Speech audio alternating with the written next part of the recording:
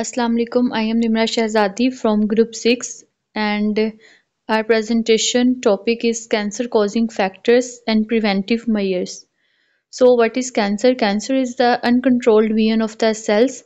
जब cells की uncontrolled division होती है तो उसकी वजह से cancer cause होता है फॉर नेक्स्ट हमें बताया गया इसके causes क्या हैं कैंसर के कैंसर के कॉजेज़ में बहुत सारे जेनेटिकल और इन्वायरमेंटल फैक्टर्स आ जाते हैं, जो कि कैंसर के रिस्क को इंक्रीज़ कर देते हैं।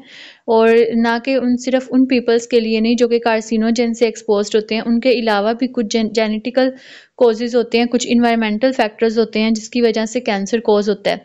जिसमें नंबर वन पे हमारे पास फैमिली हिस्ट्री आ जाएगी। फैमिली हिस्ट्री मीन्स अगर आपकी फैमिली में किसी को भी कैंसर है तो मीन्स आपके अंदर भी चांसेस हैं कि कैंसर डिवेल्प हो सकता है।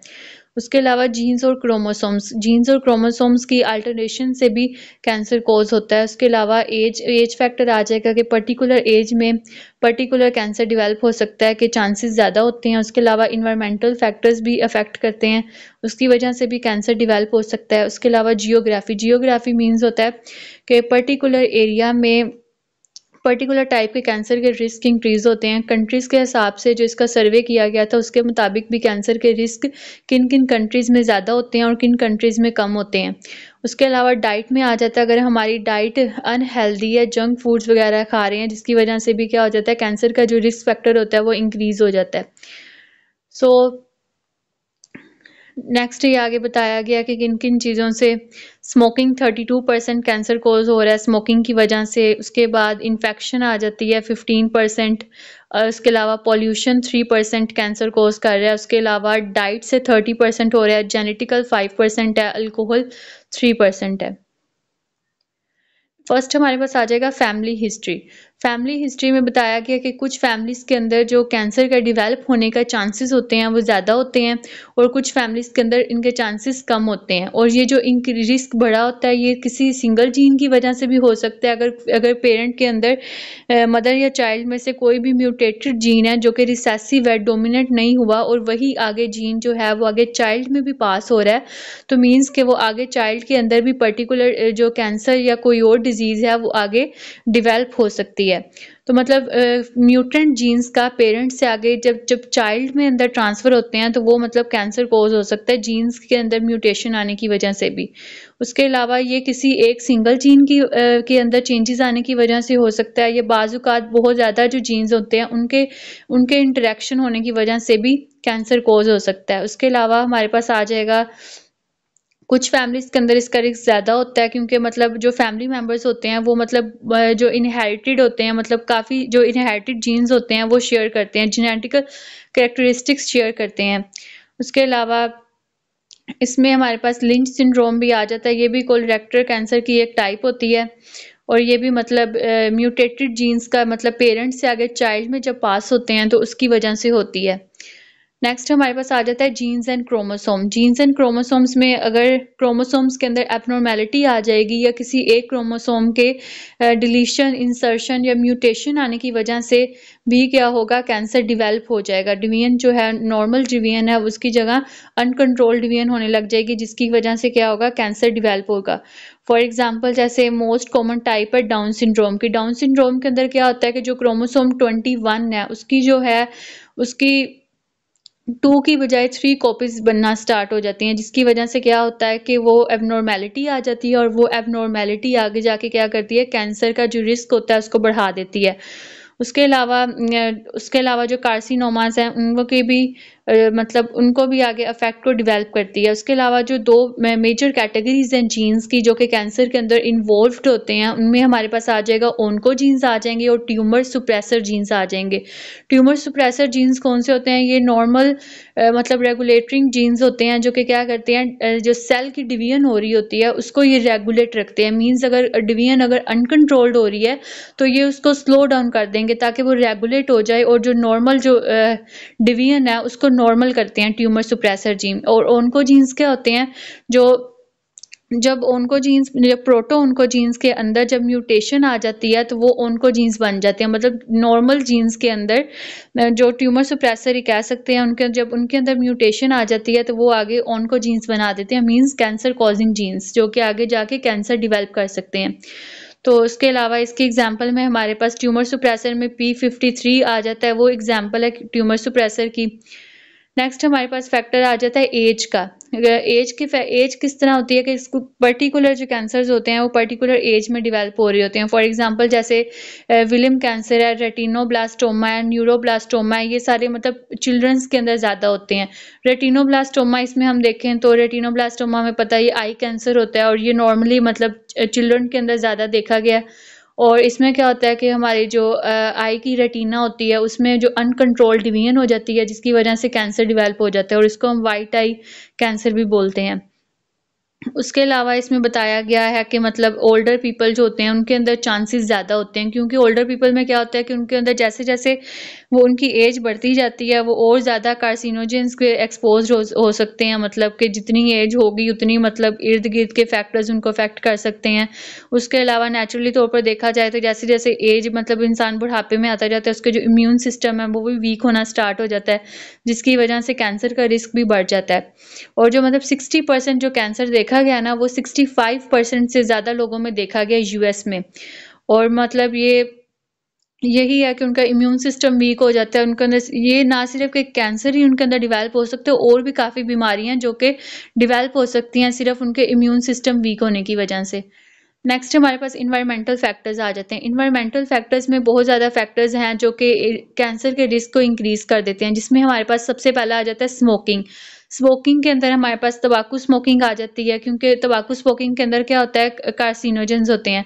कार्सिनोजेंस क्या करते हैं कि वो कैंसर को बढ़ा सकते हैं कैंसर के रिस्क को, वो कैंसर लंग्स का हो सकता है माउथ का हो सकता है थ्रोट का हो सकता है ओसोफेगस का हो सकता है और उसके अलावा किडनी ब्लैडर तक का भी हो सकता है।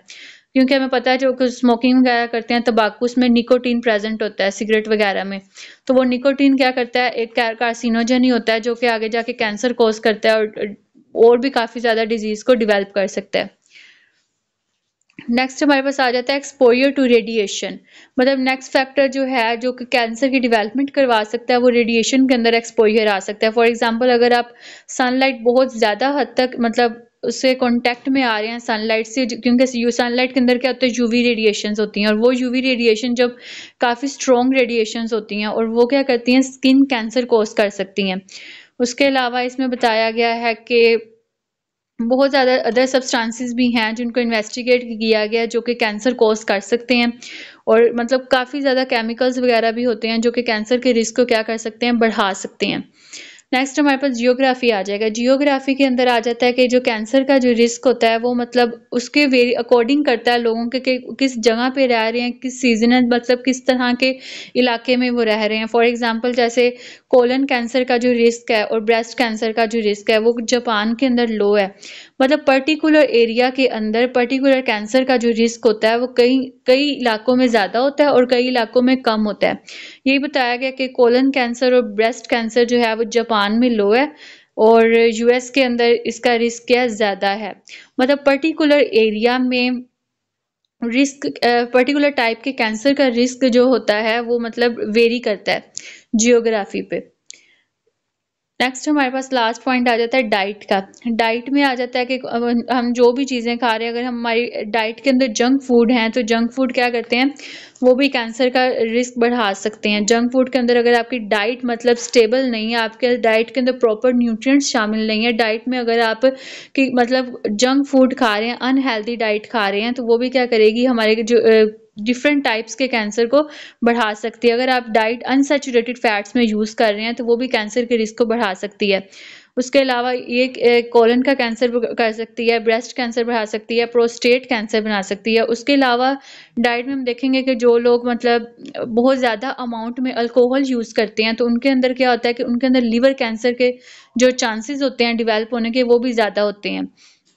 उसके अलावा ओसोफेगस का कैंसर हो सकता है, क्योंकि अल्कोहल में भी क्या होते हैं अल्कोहल भी जाकर लंग्स को अफेक्ट कर सकती है और कैंसर के जो चांसेस होते हैं उसको बढ़ा सकती है। उसके अलावा जो डाइट मतलब पिकल्ड फ़ूड जो होते हैं बारबेक्यू में जितने भी स्पाइसेस वगैरह होते हैं, वो भी हमारे स्टमक के अंदर जाके अल्सर कोस कर सकती हैं स्टमक का कैंसर कोस कर सकती हैं। उसके अलावा हमारी इंटेस्टाइन को अफेक्ट कर सकती है।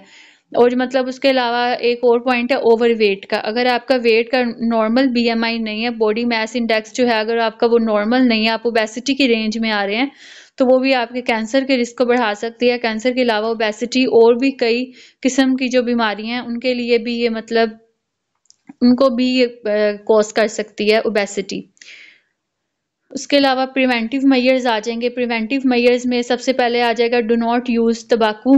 तबाकू मतलब स्मोकिंग की जितनी भी टाइप्स हैं, तबाकू आ जाती है। जितनी भी हैं उन सब टाइप्स को आप बिल्कुल मतलब ख़त्म कर दें उनसे आपको प्रिवेंट करें। सेकंड हैंड स्मोकिंग मतलब अगर आपके पास भी कोई स्मोक कर रहा है, आप पैसिव स्मोकिंग हो रहे हो कर रहे हो तो उस, वो भी, उससे भी अवॉइड करें। क्योंकि स्मोकिंग क्या होती है? ये हार्मफुल होती है। उसके अलावा ईट अ हेल्दी डाइट मतलब अपनी अपनी जो डाइट है, उसको आप हेल्दी बनाएँ। कोई भी जंक फ़ूड ना खाएँ। फ्रूट्स और वेजिटेबल का इस्तेमाल ज़्यादा करें। अल्कोहल वगैरह से गुजेर करें। अगर आप यूज़ भी कर रहे हो तो उसको मॉडरेट क्वांटिटी के अंदर यूज़ करें। उसके अलावा लिमिट प्रोसेस्ड मीट जितने भी मीट्स हैं बारबेक्यूज़ मीट्स हैं, उनको आप एक प्रॉपर लिमिट में रखें। ओवर यूज़ ना करें, जो कि आगे कैंसर के रिस्क को बढ़ा सकती हैं। उसके अलावा seven steps you can take to help to prevent cancer first of all avoid the chemicals that cause cancer means आपके इन्वायरमेंट में, आपके इर्द गिर्द सराउंडिंग्स में जो केमिकल्स जो कि कार्सिनोजेंस हैं, उनसे आप अवॉइड करेंगे उनका इस्तेमाल कम करें, उन चीज़ों का इस्तेमाल कम करें जो कि कैंसर कोज कर रही हैं। उसके अलावा हेल्दी डाइट इस्तेमाल करें ईट मतलब हेल्दी डाइट खाएँ मतलब कोई भी जंक फ़ूड ना खाएँ। मेंटेन अ हेल्दी वेट अपना वेट है, अपना बीएमआई है, उसको आप नॉर्मल रेंज के अंदर रखें। उसके अलावा अवॉइड तंबाकू एंड अल्कोहल अल्कोहल वगैरह से, तंबाकू वगैरह से अवॉइड करें। Get thirty minutes activity five days a week her week में थर्टी मिनट्स की एक्टिविटी करें, जिससे आपका जो नॉर्मल बॉडी मेटाबॉलिज्म है, वो भी नॉर्मल रह सके और आपका जो डिफरेंट मतलब जितने भी प्रोसेस हैं वो ठीक हो सकें। उसके अलावा प्रोटेक्ट योर स्किन अपनी स्किन को प्रोटेक्ट करें ताकि हाई अल्ट्रावोलेट रेडिएशन से आपके स्किन को स्किन कैंसर से प्रिवेंट रह सकें खुद को बचा सकें। उसके अलावा स्टे अपॉन कैंसर स्क्रीनिंग्स और कैंसर के जितने भी स्क्रीनिंग्स वगैरह वो भी करवाते रहें। नेक्स्ट आ जाए maintain a healthy weight and be a physically active means ये कि अपना वेट हेल्दी रखें। अगर आपका हेल्दी वेट होगा तो वो बहुत सारे टाइप्स ऑफ़ कैंसर से आपको प्रिवेंट कर सकता है। उसके अलावा one fifty minutes doing amount of physical कोई भी physical active one fifty minutes तक आप करें वीक के अंदर। उसके अलावा protect yourself from sun मतलब स्किन कैंसर जो है, वो मोस्ट कॉमन काइंड है कैंसर की, और मोस्ट प्रिवेंटेबल है। Avoid the midday suns means जो टेन ए एम से लेकर फोर पी एम तक जो रेज होती हैं, वो बहुत ज़्यादा स्ट्रॉन्गेस्ट होती हैं। तो उनमें अवॉइड करें। अगर आप बाहर भी जा रहे हो तो अपने फेस को कवर अप करके बाहर जाएँ। उसके अलावा स्टे इन द शेड और व्हेन आउटडोर जब आप कहीं बाहर जाएँ तो आप सन ग्लासेस का यूज़ करें। उसके अलावा ताकि आपको हार्मफुल रेडिएशन से आप प्रोटेक्ट रह सकें। कवर योर स्किन और अपनी स्किन को पूरी तरह कवर रखें। वैक्सीनेटेड में आ जाता है कि गेट वैक्सीनेशन अपनी कंप्लीट करवाई रखें, जो कि सर्टेन वायरल इन्फेक्शन से भी होती है, जो कि क्या करती हैं कैंसर से भी प्रोटेक्ट कर रही होती हैं। वैक्सीनेशन को अपने ठीक करें। उसके अलावा जो है avoid risky behaviour means effective cancer preventive tactic is to avoid the risky behaviour that can increase the risk of cancer for example means do not share needles means किसी के साथ भी अपनी कोई नीडल अगर यूज़ की हुई है तो उसको दोबारा यूज़ ना करें। और मतलब ये प्रॉपर केयर रखें इन सब चीज़ों से। नेक्स्ट आ जाएगा गेट रेगुलर मेडिकल केयर मतलब प्रॉपर अपना जो है मेडिकल चेकअप जो है रेगुलर चेकअप है, वो करवाते रहें। स्क्रीनिंग्स वगैरह करवाते रहें कैंसर के लिए।